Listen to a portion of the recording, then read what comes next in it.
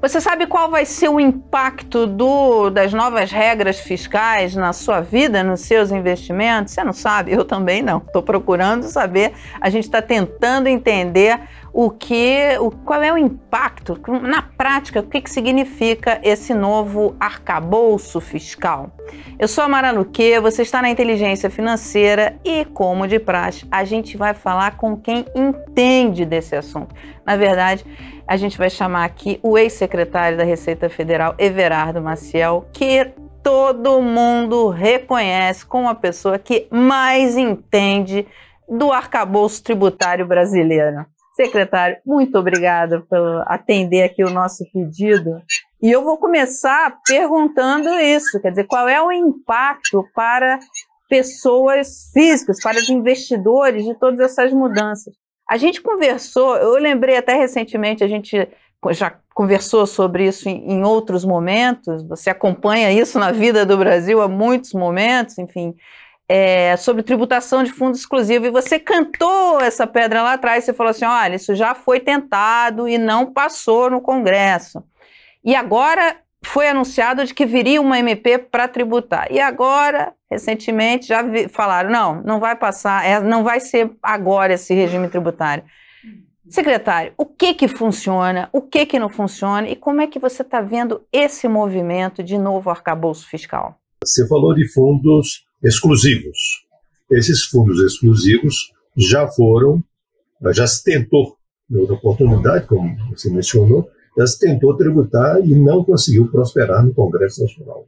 É, é lembrar também o seguinte, que mesmo por se tratar de imposto de renda, mesmo que conseguisse prosperar, ela não pode produzir efeitos no próprio exercício, porque se sujeita às regras de anterioridade e, portanto, somente no exercício subsequente produziria resultados.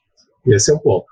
E quanto ao resto, não se sabe. A única coisa que se falou, assim, objetivamente, ah, foi a pretensão de tributar os concursos de prognósticos de futebol é, online.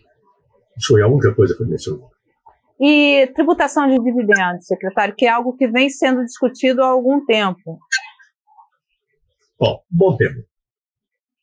Veja o seguinte: quando alguém investe em uma empresa, a expectativa dele é ter retorno.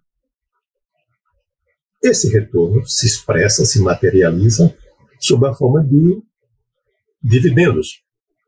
Portanto, esse, no final de contas, é um, ciclo do investimento e retorno. Bom, ao fazer esse investimento, é, naturalmente se sujeita à tributação pelo imposto de renda. E há três possibilidades. Uma possibilidade seria tributar apenas na pessoa jurídica. Uma outra seria tributar apenas na distribuição de dividendos. E a terceira seria tributar tanto na pessoa jurídica quanto na distribuição de dividendos. A opção por uma dessas formas é uma opção de natureza técnica, não é, no, porque no final de contas interessa saber quanto o dividendo foi impactado pela tributação, seja na pessoa jurídica, seja por ocasião da distribuição do dividendo. Bom, e nós já tributamos isso, tributamos da pessoa jurídica no dividendo. A experiência foi ruim, não deu certo. Foi justamente por isso que mudamos. E por que, que foi ruim, secretário? vamos ver. Primeiro pelo seguinte, ela propicia um tipo de infração fiscal de dificílimo controle. Chama-se distribuição disfarçada de lucros. É, chamada, tecnicamente, chamada de DDL. É, e essa, essa distribuição disfarçada de lucros é, obriga um esforço muito grande por parte da fiscalização para acompanhar, e de um lado, e por outra, permite muitas possibilidades de sonegação. Então, ela não funciona precisamente por isso. Quando foi, passamos a tributar apenas a pessoa jurídica, isso desapareceu. Não, não existe mais isso. O Brasil, possivelmente, é um dos raros países do mundo onde não existe distribuição disfarçada de lucros, a não ser uma coisa tão pontual, tão isolada, que não serve como exemplo. Quer dizer, uma coisa quase uh, raríssima, por assim dizer.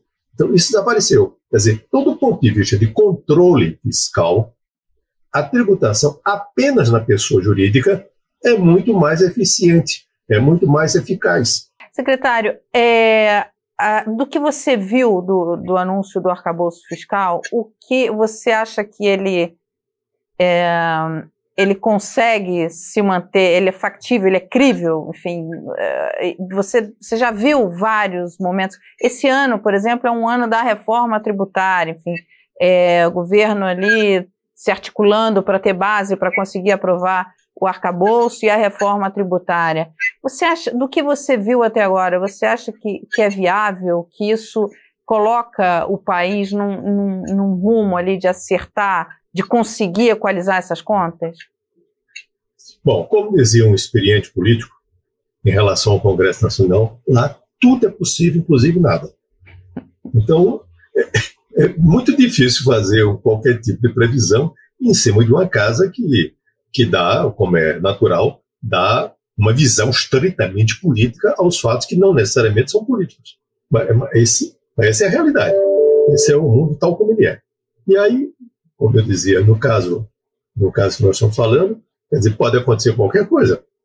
Quer dizer, e sobretudo que essas coisas não estão, não estão claras. Por exemplo, arcabouço fiscal. Tem um PowerPoint.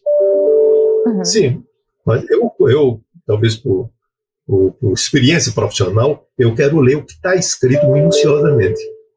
Porque, como eu disse e repito, o demônio mora nos parágrafos.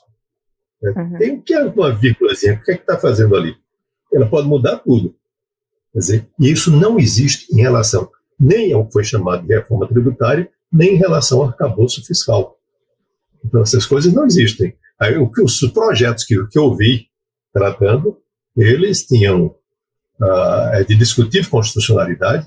Aliás, eu escrevi um artigo na honrosa companhia de Iris Gandara, Milton de Souza, Paulo Carrasa, Humberto Ávila, aqui uma charada, aí, entendendo que aquela proposta ofende o Pacto Federativo, que é uma cláusula pétrea constitucional. Dizer, nós já fizemos a extravagância de termos três entes federativos: União, Estados e municípios. Não tem nenhum país tem isso. Agora você quer criar um comitê gestor que tem quase poderes de competência federativa. Aí nós realmente passamos a ser uma coisa teratológica. Você está tá falando da PEC 49, é essa? 45. 45, é. Você tem a 45 e tem a 110, que é, é do superfisco, né? Como, como é que você vê isso? Não, eu vejo o seguinte: isso é. Vamos começar o seguinte. São soluções que eu tenho muitas críticas a ela, muitas, não são poucas, né? mas que têm um problema de origem. Elas querem um processo de transição onde convivem onde vai haver uma convivência entre os problemas atuais e os novos que surgirão. Eu não tenho dúvida que surgirão. É certeza absoluta. Porque é assim sempre em matéria tributária. Bom, agora, por que não começar resolvendo os problemas atuais? É uma frase que eu não sei exatamente a quem se é, se é, é atribuída ao padre Antônio Vieira, mas não tenho exatamente certeza disso, diz assim: as enfermidades presentes não se, não se resolvem com remédios futuros. Então, primeiro vamos fazer. Ah, existem problemas? Existem. Estamos todos de consenso. Então, fazer o primeiro consenso. Vamos dizer quais são os problemas. E vamos resolvê-los. E aí você vai caminhando. E é assim que se caminha. Quer dizer, começando pelo começo. Mas antes, eu queria que você respondesse o seguinte: você falou assim, olha, por que não resolvemos os problemas atuais antes de resolver os problemas futuros, né? Quais seriam três, eh, o que você colocaria como os top três é, problemas que têm que ser resolvidos antes de se pensar em arcabouço futuro? Primeiro problema, o problema, que ninguém fala, é o processo tributário. Ou seja, as regras processuais aplicáveis à tributação são caóticas, porque nunca existiram. É, não é, não é, aliás, dizer caótica, talvez eu estou até sendo muito generoso. Elas nunca existiram. Eu já estudei. O que é que nunca existiram? É, quais foram as causas disso? Eu não vou me alongar explicando que tentou-se isso nos anos 60, nos anos 70 e várias vezes. é, uma situação que envolveu um certo azar, uma certa coincidência ruim, é, impediu que se processasse. O fato concreto é o seguinte: hoje não há limites para o lançamento tributário.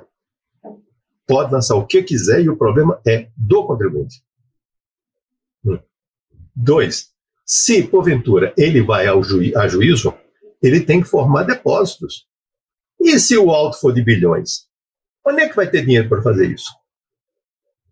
Isso é como existe hoje. Dívida, a, a, dívida ativa, a execução judicial é um caos. Está errado aquilo. Representa 38% das ações em curso na justiça brasileira. Mas ninguém fala isso. E do lado do contribuinte? Do lado do contribuinte tem um bom negócio. É, litigar é bom. E sabe o que é bom? É o seguinte, eu não vou falar para você que sabe muito mais do que eu isso. Aplicar no mercado financeiro, você pode ter remuneração que pode ser tratada com juros compostos. O débito tributário é com juros simples. Dá uma diferença brutal. E se eu entrar com a ação na primeira instância e lograr sucesso, a distância, o tempo que vai demandar entre a decisão na primeira instância e o desfecho dessa matéria no Supremo é 19 anos.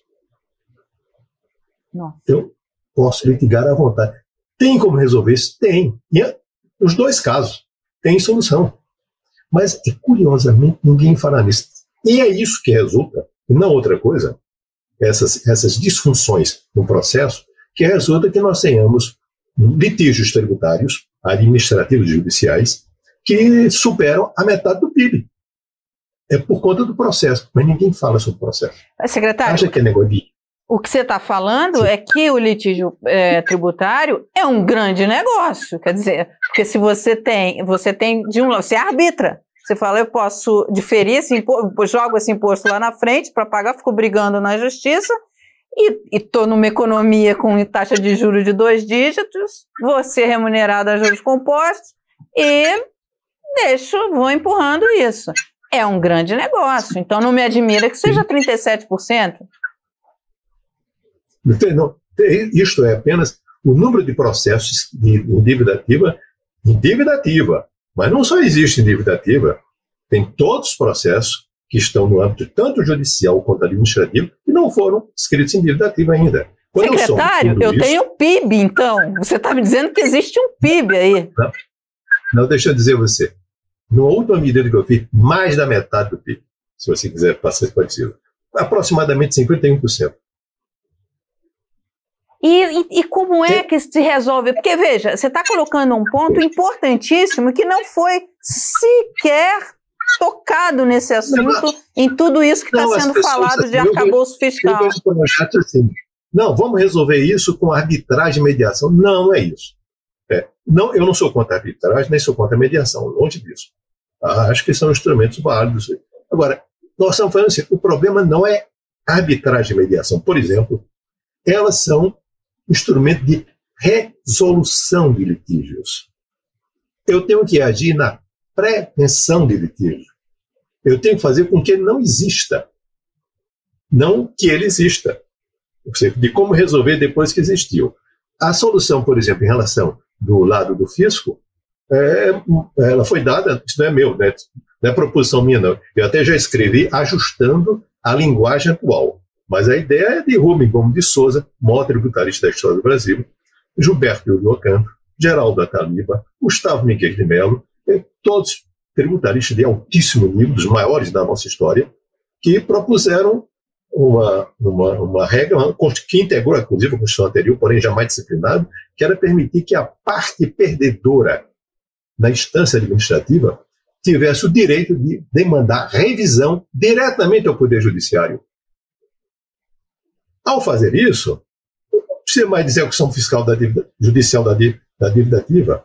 Não há mais necessidade de depósito e agora tem sucumbência o lançamento inconsistente, subsistente. Assim, matando vários. Em relação a outra questão, é, o problema advém de uma coisa que, nesse aspecto, não tem como resolver. É, nós adotamos desde a República o controle difuso de constitucionalidade, traduzindo. É, você pode questionar a constitucionalidade de uma determinada norma perante o juiz de primeira instância e não diretamente no Supremo. Então, E para tentar equilibrar-se isso, criou-se, previu-se a possibilidade de controle concentrado é, diretamente no Supremo para determinadas pessoas jurídicas. Acontece que o instrumento que dispõe a Fazenda Pública para efetuar isso, que é a chamada ação declaratória de constitucionalidade, é inviável. Porque o pretexto para entrar com a ação declaratória de constitucionalidade é a existência de uma relevante controvérsia judicial. E ela não existe. Eu consegui constatar, inclusive conversando com outras pessoas que trabalharam nisso, que houve um erro de tradução. Não era judicial, era jurídica. Isso é uma diferença monumental. Então, quando houvesse uma decisão desse tipo, podia-se atalhar com a ação declaratória de constitucionalidade e encerrar a demanda definitivamente. Não aguardei esses 19 anos para enfrentar essa demanda. Eu estou citando algumas formas, não quero esgotar o assunto falando nisso, quer dizer, esse, qual é o problema do processo? Hum. Se você tiver um processo ruim, não existe sistema tributário que resista. É, hum. eu uso uma imagem, toda imagem ela tem defeitos, porque evidentemente é apenas uma metáfora. O processo é o sistema arterial venoso das pessoas. Se ele tiver ruim, você pode estar com todos os óculos bons, mas vai morrer de infarto. Podia AVC. Para a gente encerrar, secretário, que eu já estou tomando muito seu tempo nessa véspera de feriado, é... o que senhor diria? O senhor, o senhor acha que vai ter é, uma. Os investidores brasileiros vão ser mais tributados? Que esse é um caminho? Tipo, tributação de fortunas, tipo tributação de fundos exclusivos, como a gente falou. A gente já falou também aqui dos dividendos e outros, enfim há caminhos para se tributar mais o investidor? Porque, porque tem muitos mecanismos, inclusive, que o governo quer, setores que o governo quer desenvolver, tipo as debêntures é, de infraestrutura, onde tem o benefício fiscal, enfim, é, é aplicações de mais longo prazo, que tem alíquotas menores. Isso deve se manter ou o governo vai mexer nisso? Ah, isso. Aí, aí tá, a pergunta deve ser feita ao governo, não sei quem vai tá, propor. É, e depois lembrar que, felizmente, tudo isso se subordina ao princípio constitucional da legalidade. E ao se subordinar ao princípio constitucional da legalidade, eu quero dizer que depende de lei. E ao dizer que depende de lei, eu digo que depende do Congresso. Portanto, nós temos aqui um conjunto de variáveis completamente imprevisível. Mas que vai passar que pelo Congresso, quer dizer, a gente vai acompanhar essas discussões todas lá, porque todas elas, todas essas medidas precisam passar pelo Congresso. É, a não ser medidas muito muito pontuais, a alíquota de IPI, a alíquota de IOF, fora coisa que, que, ou seja, onde já existe uma previsão constitucional de delegação ao executivo, todo o resto depende de lei. Até mesmo a tributação desses jogos, uh, dessas apostas online, que, que eu acho que deve ser, acho que deve ser tributado, sem dúvida. Mas não é uma coisa simples, não. Tem que regulamentar isso. Uhum. É, é, como é que você vai tributar uma empresa que faz apostas online, que está nas Ilhas Maurício ou em Papua Nova Guiné. Eu não sei como é que faz isso, não. Uhum. Aí disse, não, mas acontece se, se não fizer isso, não pode haver aposta. E quem falou que não pode haver apostas é, clandestinas? Quer dizer, tudo tem que ser com muito cuidado. Uhum. Sim. E precisa, portanto, profissionalismo. Eu não estou dizendo que não haja. Tem que ser muito profissionalismo e criatividade para que elas sejam eficazes. E há setores que podem, que você, você vê espaço de setores que hoje que não são tributados e deveriam ser? Sim, sim, eu tenho vários, mas eu vou citar um é, que eu acho que esse na, época, na minha época não existia. É, portanto, hoje é um setor a, a tributação em base corrente das aplicações de pessoas físicas em paraísos fiscais, porque é absolutamente desproporcional em relação às pessoas físicas que faz as mesmas aplicações no Brasil. E isso só é aplicado por ricos. Vamos ver um outro caso, que é inacreditável como é que isso não se resolve. Inacreditável. Não, não existe explicação para isso. A Constituição diz que, no caso de domiciliado no exterior, a aplicação do, a incidência do imposto sobre transmissão, causa morte e doações é condicionada à existência de uma lei complementar. Essa lei complementar está prevista na Constituição de 88. O que é que fizeram no Brasil? Várias leis ordinárias. O Estado de São Paulo, por exemplo, e tantos outros. Mas a Constituição fala complementar. ordinária. Aí vai ao Supremo, o Supremo diz, obviamente que complementar não é ordinária. É uma coisa meio, meio, meio tosca, até, isso aí. Cadê a lei complementar? Não existe. Não há lei complementar tratando disso. É só fazer a lei complementar.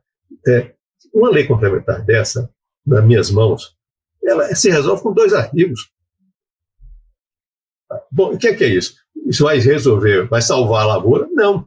Mas eu, como eu sempre menciono, eu dizia, olha, um bilhão de reais é formado por um bilhão de um real.